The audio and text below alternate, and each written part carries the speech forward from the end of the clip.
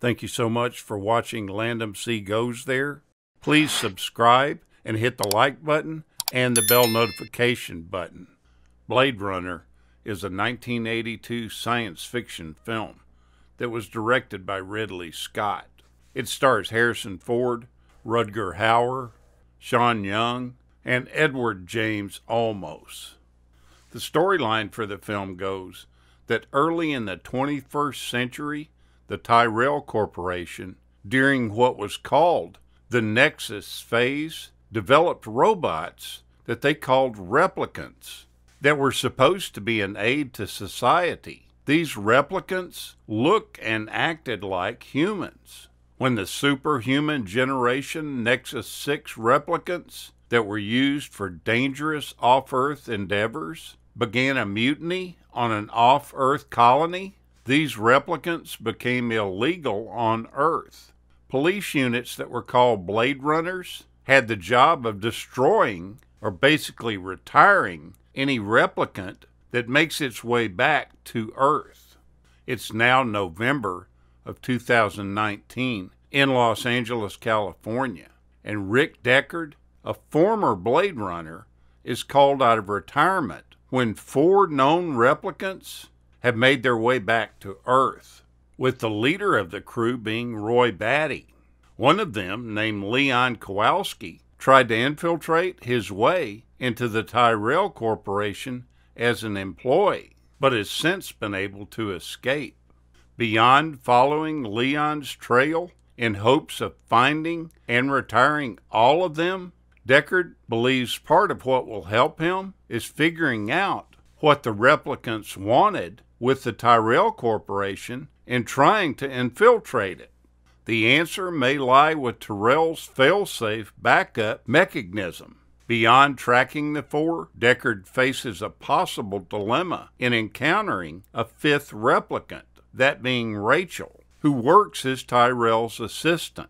The issue is that Dr. Eldon Tyrell is experimenting with her to provide her with fake memories so as to be able to control her. With those memories, Rachael has no idea that she's not human. The problem is not only Rachael's assistance to Deckard, but that he is beginning to develop feelings for her. Interest in developing Philip Dick's novel, Do Androids Dream of Electric Sheep, developed shortly after its 1968 publication. Martin Scorsese was one of the directors that was interested in filming the novel, but he never optioned it. Casting for the film proved terribly troublesome, particularly for the lead role of Deckard. As the screenwriter wrote the play, he envisioned someone like Robert Mitchum playing the role, and he wrote that character's dialogue with Mitchum in mind.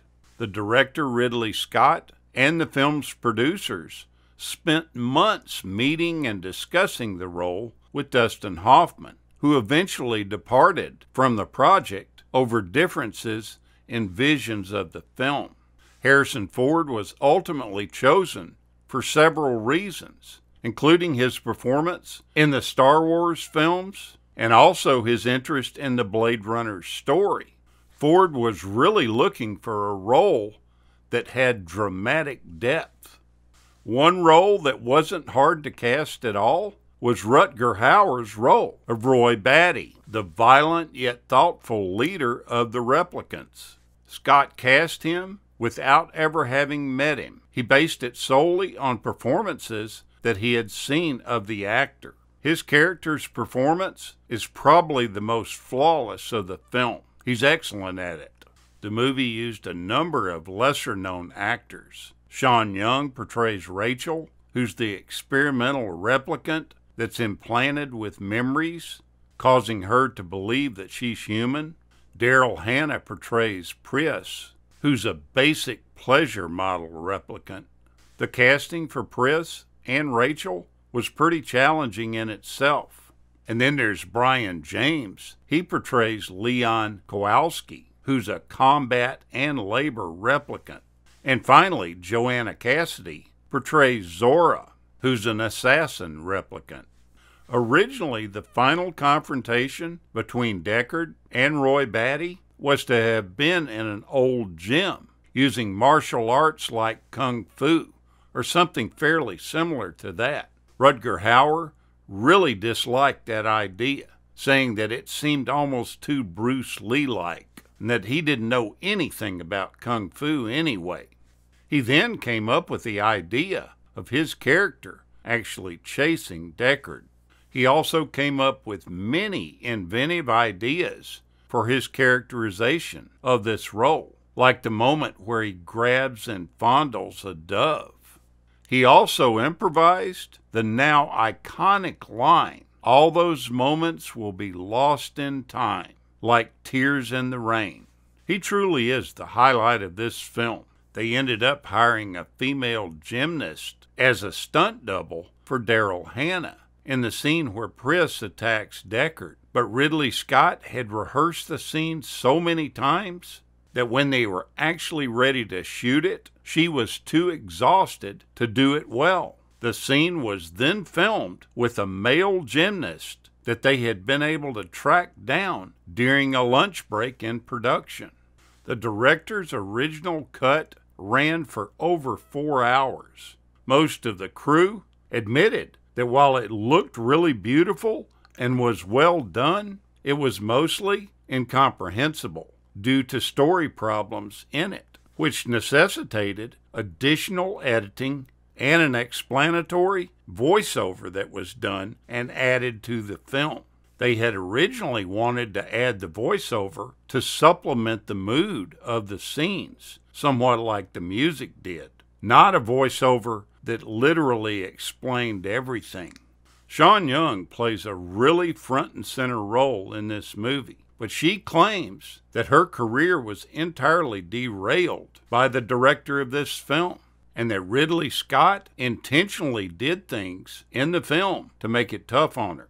In the film's aggressive love scene between her character and Harrison Ford, she claims that it was done intentionally to try to get back at her. You see, at the beginning of the filming, Ridley Scott had asked her out numerous times, and she turned him down. Scott was irritated, and he eventually turned his attention to the girl that played Zhora, Joanna Cassidy, which Sean Young was pleased to have happen because it took the eyes off of her. But she states that Ridley Scott hadn't forgot about it, and he did this scene specifically as a jab at her. Take a look back at this sci fi classic. This is a pretty well done film. Thank you so much for watching, and we'll continue to chase the classics.